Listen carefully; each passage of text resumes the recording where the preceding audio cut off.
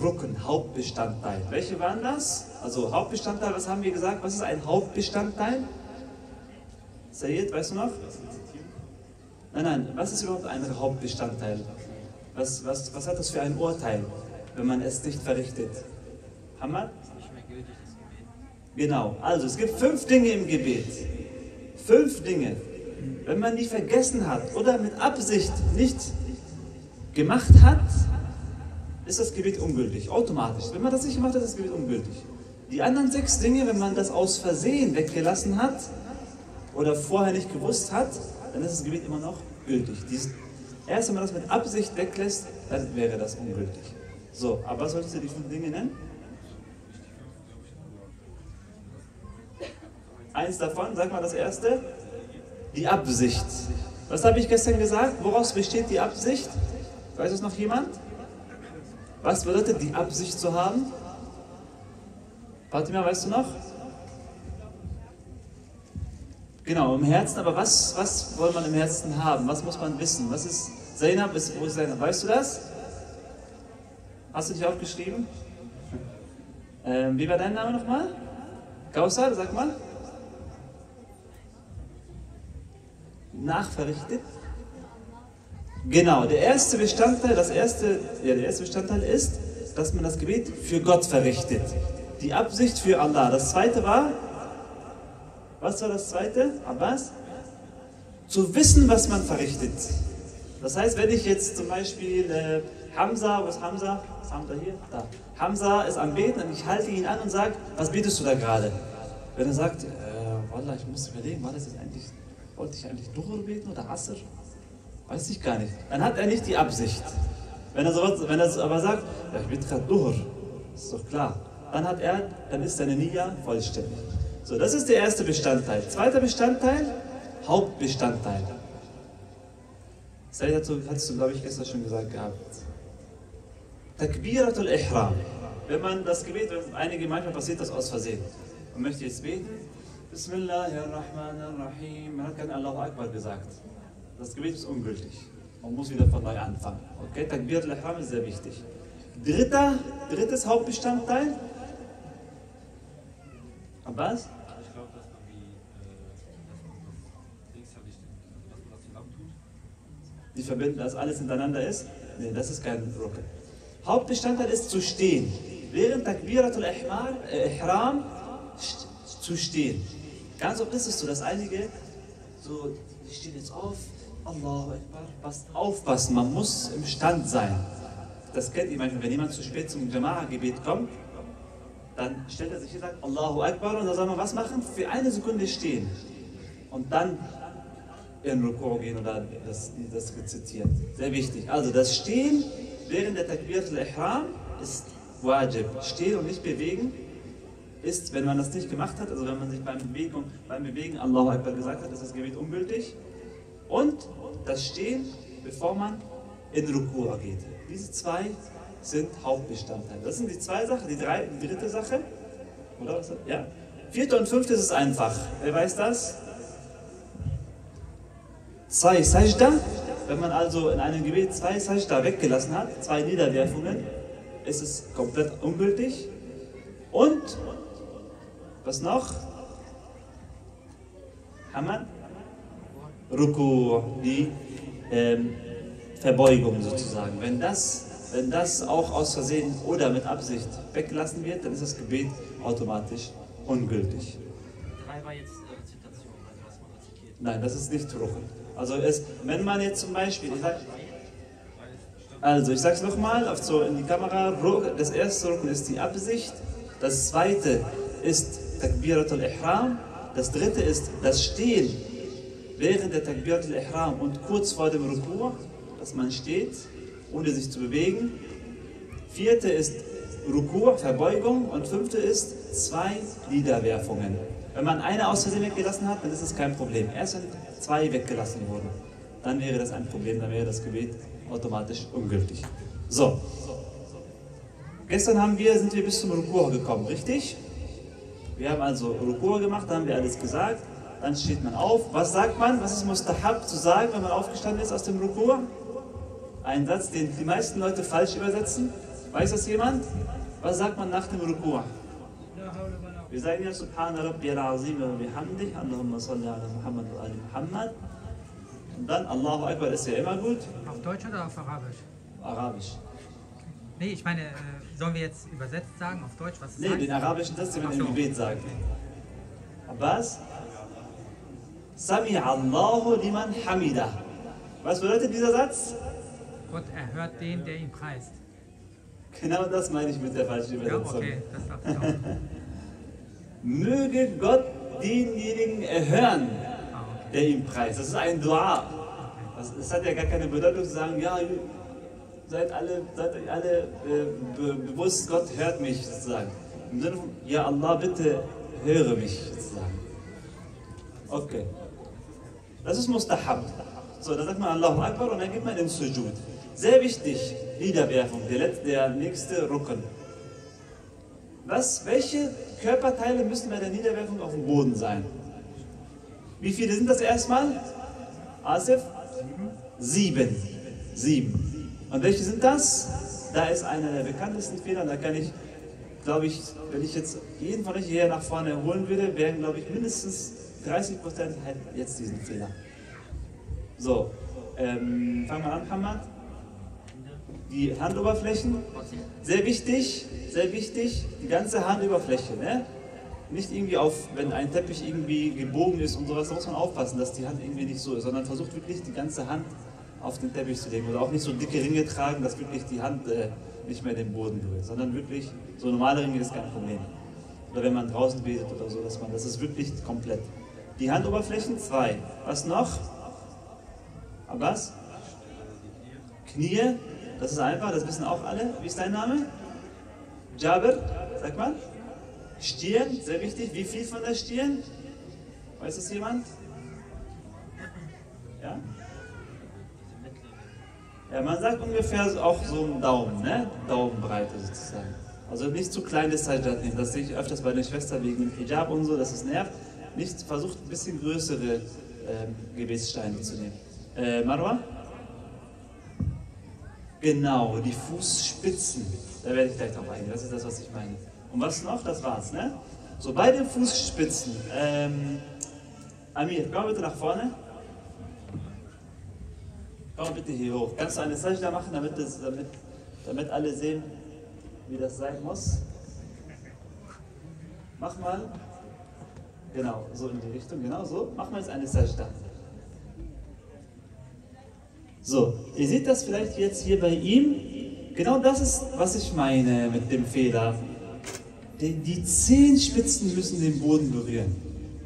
In den, in der, Im Regelweg steht, wenn, also seht ihr das, er berührt gerade die, äh, mit dem unteren, die Fußsohle berührt gerade den Boden. Deswegen, Rabbi, ich pack mal deinen Fuß, versuch mal nur, dass deine Zehenspitzen den, den Boden berühren.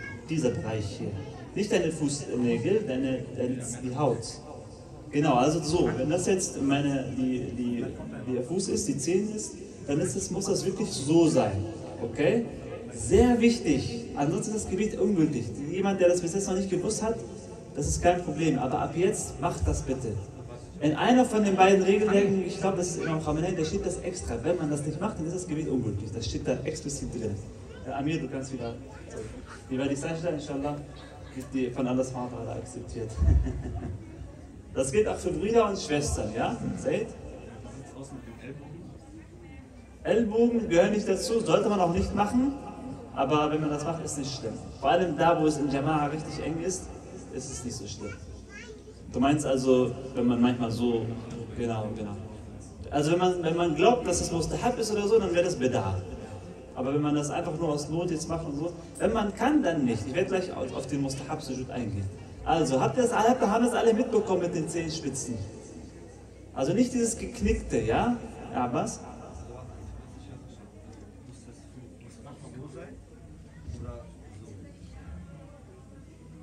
Also, wie der Fuß sein muss, ist nicht, ist nicht relevant. Die, der vordere Teil vom Fuß, genau. Die untere Fußsohle braucht nicht den Boden zu berühren. Haupt, mindestens eins, ein Zeh muss wirklich so sein. Das ist das Wichtige. Guckt mal am besten immer bei den Vorbetern, da seht ihr das, wie die das machen. Aber okay, bei der vollen Menge sieht man das ja gar nicht. Aber Da, oder ihr könnt das später, wenn jemand, ja, ich kann es vielleicht für die Brüder auch später zeigen, aber das, das äh, habt ihr alle jetzt mitbekommen, inshallah. So, was wollte ich jetzt sagen beim Mustahab, beim Mustahab Sujud für die Brüder? Da ist Tajannuh Mustahab. Also, erstens für diejenigen, die, die sehr, sehr äh, alle Mustahabbat machen wollen, wenn man von im Rukur ist. Okay? Subhana Rabbi al-Azim wa bihamdi. Sami Allahu liman hamida. Dann ist hier der Vorgang ins Sujud zu gehen, al-Hawiyyu ila al-Ard mustahab. Dass man sich auf den Boden schmeißt. Okay? Dann, das kann man daran merken, dass die Hände erst im Boden drin vor den Knien. Wenn ihr wissen wollt, wie das funktioniert am besten, dann gebt Prayer Ayatollah Bahjat ein bei Google, da seht ihr das Video, wie Ayatollah Bahjat betet. Der, der, der, derjenige, der das heftigste Gebet unserer Zeit bisher hatte. Mein Lehrer selbst hat hinter ihm gebetet. Er meinte zu mir, die ganze Moschee ist wie ein Schiff, das Richtung Paradies fliegt. Ach so, man versteht nichts. Ja. Also ihr könnt mal im, äh, im also ich habe das gerade gesagt, wenn man ins Sujud gehen möchte, wobei das weiß ich nicht, das ist nicht für die Schwestern, das habe ich mich wieder daran erinnert, aber das ist für die Brüder. Man soll sich auf den Boden schmeißen, okay? So, dass, dass, der, dass die Arme, dass die Handflächen als erstes auf dem, auf dem Boden sind. Das ist Mustahab. So, das ist ja auch jetzt wieder nur für die Brüder. Für die Brüder ist es Mustahab, Tajan noch zu machen, also Flügel, dass, dass man so einen Sujud macht. So, natürlich da, wo es möglich ist. Ne? Im Jama'a-Gebet geht das nicht, weil, weil das viel zu eng ist. Da muss man ja eigentlich so machen. Aber für die Brüder, wenn man alleine ist oder wenn man mehr Platz hat und so, ist Tajannoh, also das hier, Tajnih oder Tajannoh, ist das Mustahab. Für die Schwestern das Gegenteil. Innen, nach, von nach innen. Das ist Mustahab. Okay, habt ihr das mitbekommen? So, das sind die zwei Mustahab-Sachen beim Sujud. Und hier sehr wichtig, wenn jemand schon alles richtig macht beim Gebet und pünktlich betet, das ist zwei, also erstmal alles richtig machen, dann pünktlich beten. Und wenn jetzt jemand hier anfangen möchte, sein Gebet zu verbessern, da soll man nicht anfangen, Surat al-Baqarah zu lesen im Gebet. Braucht man nicht. Und Kumain im Kunut. Sondern, es gibt ja dieses, dieses Video, ähm, wo einer sagt, Uthman hat in, in einer Rekha den ganzen Koran gelesen. Ne? Und dann denkst du, die Reagete danach. Ähm, vielleicht meint ihr damit dreimal Qul Huwallahu Ahad. Auf jeden Fall, dann soll man sein Sujud langziehen, verlängern.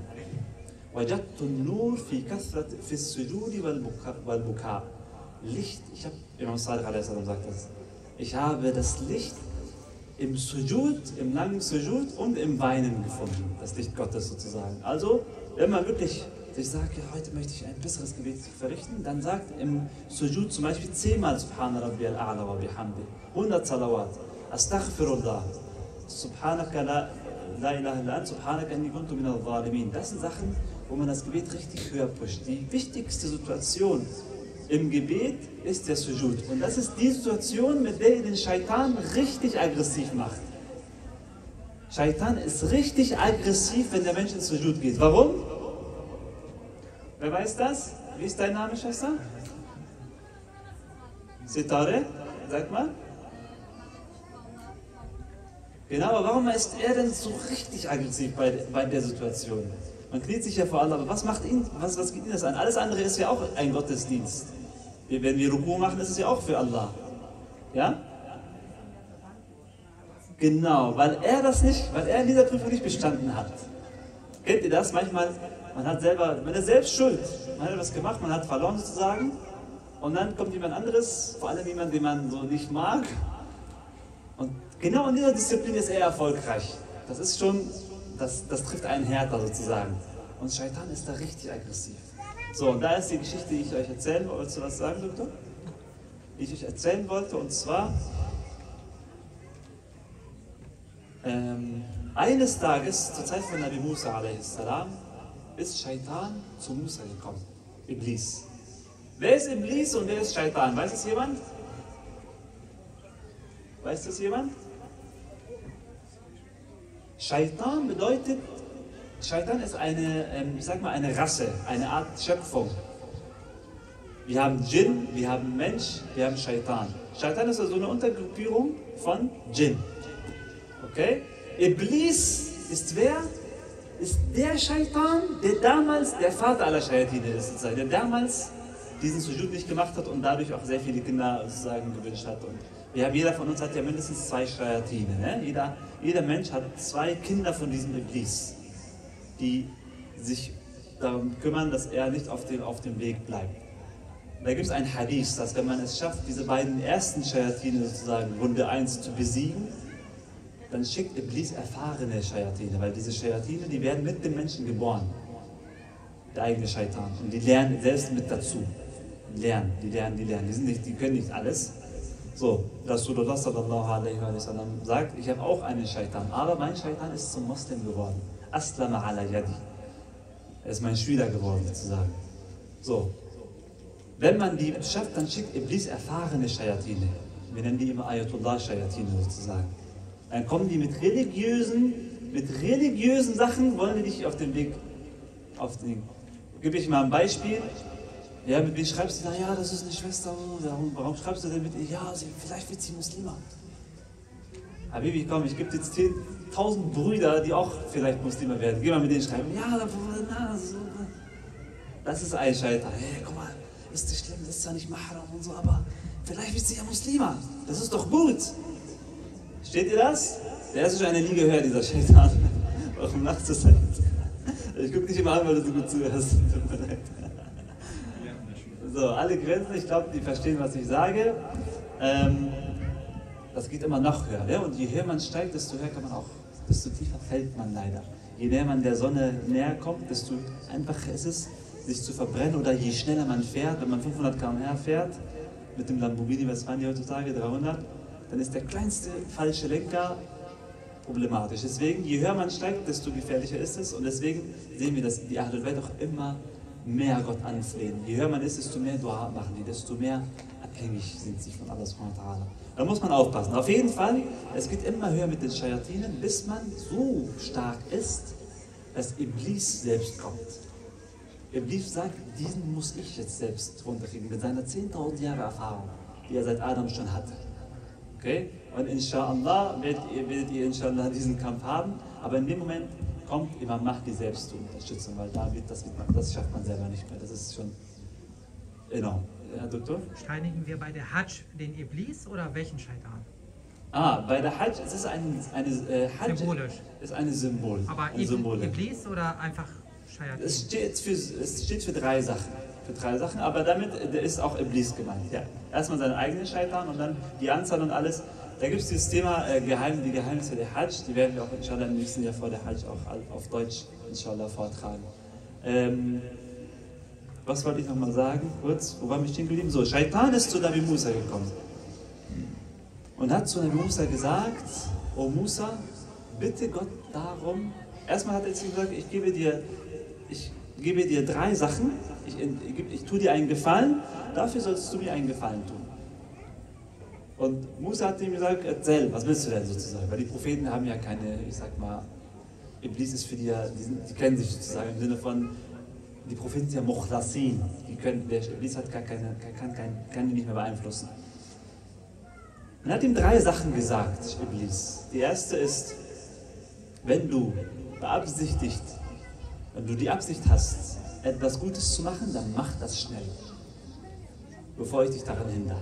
Kennt ihr das manchmal? Man sagt, ja, habe ich gestern gehabt, habe ich gestern gehabt. Ja, ohne dass es jetzt Augendienerei wird, war eh zu spät, Alhamdulillah, war eh schon nach dem Adhan. Ich dachte mir, ja komm, ich bete noch mal ein paar Rakat als Salatul Nachholgebet. Und dann habe ich gesagt, ja komm, komm, komm auf dem Handy, vielleicht sind da neue wichtige Nachrichten und sowas. Dann ich, bin ich zum Handy gegangen und dann habe ich gesehen, ich habe 20 Minuten am Handy sozusagen verballert sozusagen. Und dann habe ich gedacht, boah, wie Shaitan mich sozusagen davon abgelenkt ab, ab, äh, hat sozusagen. Aber dann habe ich wieder schnell im Tempo, im schnellen Tempo inshallah wieder gebetet. Ähm, wenn man zum Beispiel sagt, heute will ich spenden, dann mach das schnell, bevor Shaitan sagt, ah, wieso willst du spenden, Äh, mach doch was anderes damit und und und und und und oder irgendwelche anderen Sachen. Man kennt das ja. Deswegen, das ist die erste, äh, äh, die erste, der erste Ratschlag. Der zweite Rat- Ratschlag ist, wenn du alleine mit einem anderen, mit dem anderen Geschlecht bist, also als Mann mit einer Frau, als Frau mit einem Mann, wisse, dass ich immer der Dritte bin. Das heißt, in diesem Moment bin ich richtig stark. In diesem Moment habe ich richtig starken Einfluss. Vermeide so eine Situation. Und die dritte, vergesse ich immer wieder, ich weiß nicht warum, inshallah werde ich mich daran erinnern. Auf jeden Fall musst du ihm, was möchtest du denn, Iblis? Das ist das Wichtige. Iblis hat gesagt, geh zu Allah und bitte darum, dass er mir vergibt. Ich möchte es wieder gut machen. Und Nabi Musa hat diese Schaf also er hat Nabi Musa als Schafir benutzt, als Fürsprecher. Nabi Musa hat das halt mit Allah subhanahu diese Bitte sozusagen darum gebeten. Allah subhanahu hat gesagt, ich werde Iblis vergeben. Unter einer Bedingung. Welche Bedingung? Er soll zum Grab von Adam gehen und dort diese Sajda nachholen und machen. Und dann ist wieder Iblis seine Arroganz aufge, aufgepocht, sozusagen aufgekocht. Im Sinne von zu seiner Lebzeit, wo er noch gelebt hat und sozusagen herrlich war, habe ich mich nicht vor den äh, niedergeworfen. Jetzt, wo er tot ist und seine Leiche sozusagen schon ähm, begraben ist, soll ich mich ihm niederwerfen? Niemals! Und dann hat man gesehen, dass Iblis immer noch der Iblis ist, der wie damals ist. Ja, Marc? Ich habe die dritte Sache. Also das erste war, man soll direkt spenden, man soll nicht alleine mit dem anderen Geschlecht sein, weil er dann der dritte ist. Und die, äh, die dritte Sache ist, dass man, äh, wenn man zornig ist, Wudu machen soll. Also Ahsan, Ahsan. Wenn du wütend bist, dann ändere deinen Platz.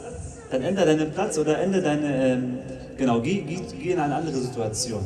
Da gibt es mehrere solche, das, da gibt es mehrere Varianten von dem Hadith. Ahsan. So, ähm, das zum Abschluss über die Sache mit der Niederwerfung. Ich wollte noch einige Mustahabbat vom, äh, vom Gebet sagen. Hat erst erstmal bis hierhin jemand Fragen zum Gebet an sich? Zur Gebetszeit. Einige sagen immer, welche App soll mir folgen und sowas. Keine Fragen. Hamad? Doch, äh, zum Sujud. Darf ich da jeder Raka sagen, so oft ich will, zum Beispiel Allahumma salli ala Muhammad wa Muhammad? Genau, man kann im Sujud so viel, so lange wie man will, kann man da Zikr sagen. Auch Salawat. Hauptsache es ist Dhikr. La ilaha illallah, alhamdulillah, Dua. Oder in jeder einzelnen, weil ich kenne das so, dass man erst in der, letzten Nein, nein, das, das macht man nur in Jama'a-Gebet, weil die Zeit immer begrenzt ist, dann macht man nur die letzte. Aber das kann man in jeder einzelnen machen. Es gibt sogar Hadith bei Imam Zain Abidin, das schon beim Wudu, beim Zikr vom Wudu, hat er so lange, so lange äh, Zikr gesagt, dass das, äh, dass das Gebet sogar ein bisschen verspätet wurde. Also so eine halbe Stunde nach dem Asan erst gebetet hat. Aber das spielt keine Rolle, weil Zikr ist Gebet. So, Asif? Ja, weil du es jetzt vorhin erwähnt hast mit Gebetszeit. Wir haben in den Apps sehr unterschiedliche Zeiten, was zum Beispiel. Genau, das ist äh, wichtig bei den Apps. Diese Apps, die die Gebetszeiten sagen. Ne? Man kann nicht einfach auf die äh, Rezension bei Play Store oder Apple Store, App Store, wie das heißt, ähm, schauen. Ne? Das muss eine App sein, wo man sich sicher ist, okay, die die, diesen, diesen Zeiten vertraue ich, die sind vertrauenswürdig. Entweder weil man die Leute kennt, entweder weil es von einer anerkannten Organisation kommt, entweder jeder, man muss denen trauen können. Okay? Also ich kann euch sagen, die EZH-Seite, da könnt ihr immer eure Stadt auswählen und dann das Ganze hier ausdrucken. Ähm, die kenne ich selbst, also ich weiß, wer da, wer da im Iran, in der, in der Universität, wer dahinter steckt und alles. Äh, die Apps von den Schreinen im Irak, die sind auch sehr äh, anerkannt. Die kenne ich, die kenne ich. Ähm, ansonsten weiß ich nicht, also was die anderen, Muslim Pro kenne ich nicht, wer der ist, aber wenn da die Rechnungsmethode auch Iran ist oder ähm, Rum, dann ist es auch anerkannt, also die sind vertrauenswürdig. Ansonsten ist es wirklich, normalerweise muss man selber wissen, wann Adhan ist, ne, wenn man sich die Sonne anschaut. Das ist eigentlich die Grundform. Ja? Shia Plus habe ich schon mehrmals gehört, aber ich weiß nicht. Also ist die Rechnungsmethode ist ja wichtig. Ne? Also das, ich weiß nicht, welche Rechnungsmethode die da anwenden. Aber zur Not immer ein bisschen verspäteter beten. Immer ein bisschen später. Vor allem beim Fajr, ne? Zur Not später beten. Oder gucken, okay, zwei Apps, ich nehme mal das, was später ist. Das ist vielleicht besser. Ja? Ja, aber das ist meistens der Fall. Die meisten Gebete stimmen überein zeitlich, auch bei diesem Shirk Toolkit. Aber Fajr ist fast eine Stunde Unterschied zu IZH. Sollst du hier noch was? Ja, also die, ähm, die äh, bei Fajr kann man ein bisschen später wählen. Also da würde ich die spätere Zeit nehmen. Das ist besser. Im Ramadan muss man sich ja nach irgendeinem. Da ist Ihtiyat, weil da geht es nicht ums Gebet, da geht es ums Fasten. Da muss man Vorsichtsmaßnahmen treffen. Da muss man das früher rühren. Beim Gebet ist ja später beten die Vorsichtsmaßnahmen. Beim Fasten ist früher aufhören zu essen. Die Es Vorsichtsmaßnahmen. ist wirklich eine Stunde Unterschied oft. Ja, ne? Muss man aushalten. Aber das da liegt auch nicht nur die Berechnungsmethode, sondern die Fatwa bezüglich der weißen Nächte. Das ist eine unterschiedliche Ansichtsweise sozusagen. Geht man, muss man da die Vorsichtsmaßnahme eingreifen oder nein, folgt man einfach nur der Sicherheit. Ähm, genau, das ist halt sehr wichtig, dass man das auch noch, äh, wie nennt man das, einem berücksichtigt. Und auch sehr wichtig, fünfmal getrennt beten, wie die Ahlus Sunnah das machen, ist in unserer Religion Mustahab. Ist aus unserer Sicht auch Mustahab, wenn man alleine zu Hause ist. Oder wenn man das kann. Wenn man wirklich das kann, dann sollte man das machen. Wenn man aber weiß, okay, ich gehe jetzt aus dem Haus raus, bis ich wieder zurückkomme, dann sollte man kombinieren. Oder man ist in einer Moschee und da wird Jama'a gebetet. Da muss man immer mit der Jama'a beten. Jama'a geht über alles. Wenn Jama'a in drei Stunden nach dem Adhan ist, ist es besser zu warten und Jama'a zu beten. Ich wollte was zeigen nur. Shia Plus. Ja, genau. Also hier gibt es einmal zwei Rechnungsmethoden. Einmal von Teheran und einmal. Ja, also diese Shia Plus App, die hat hier Teheran Universität. Das ist dieselbe für die. Ja, Ähm, man muss das einstellen, aber noch eine extra. okay, aber das muss man noch separat einstellen. Die anderen weiß ich nicht, wer die sind. Das ist einfach Schiedenschild. Da steht nur. Ja, man muss aber wissen, wer das ist. Deswegen. Also ich, ich kenne die nicht. Ich- kann nur von mir sprechen, aber vielleicht Aber wissen die anderen. kann man benutzen. Also Teheran ist, ist mein, aus meiner Sicht, wenn mein Wort für euch äh, ähm, Gewissheit ähm, bringt, dann könnt ihr dem folgen. Wenn ihr sagt, ja, Chef Mahdi, bei Ihnen habe ich Zweifel, muss, ich muss meinen Marsch abfragen. Das können, dann könnt ihr das so. Genau. Wer hat noch eine Frage, man App Universität äh, Teheran und Universität welches ist welches bevorzugt? Die sind beide, die sind, die, die sind ja beide identisch bis auf Fajr. Ja. Aber da sage ich ja immer, Fajr immer später beten ist besser. Zumal wir auch Ahadith haben, die darüber sprechen, dass man auch später beten kann, das Fajr-Gebet. Also mit der Niyyah, eigentlich wollte ich pünktlich, also wenn man wirklich, wenn es wirklich darauf ankommen soll, dann kann man einmal zu Beginn, zur ersten Zeit beten und dann nochmal um 3 Uhr. Also zu beiden Adhan-Zeiten. Das kann man auch machen. Das wäre dann wirklich die Top-Vorsichtsmaßnahme. Aber wenn das jemand schafft, dann soll er bitte für mich beten. Ja, äh, darf ich eine allgemeine Frage stellen, also nicht zum Gebet. ja so. Und zwar wegen gestern, ähm, ich kenne das nicht so, da war ja dieses eine äh, von, von Abu Fadl Abbas salam und also ich weiß ja, dass man daraus Segen ziehen kann, aber für mich, so auf den ersten Blick war das schon ein bisschen komisch. Ah, der, die Flagge meinst du? Ja, also nicht Alarm. Wie, genau, der Alarm. Wie die. Menschen da also draufgegangen sind, das war, also ich möchte jetzt niemanden angreifen, aber das sah für mich ein bisschen komisch aus. Und ich wollte mal wissen, wie das. Ahsan. Sehr, sehr wichtige Sache. Und zwar, ihr Schiiten, wie das der Abu Bara sagt, begeht ja sehr viel Schirk. Ne? Warum? Weil ihr auch Tücher und Flaggen und gesegnete Sachen anbetet. Richtig? Wo steht das im Islam? Wo steht das im Koran? Wo, wo hat der Prophet sowas gemacht? Kann hier jemand irgendwas nennen? Für Yusuf. Ahsan. Ein Salawat für Doktor.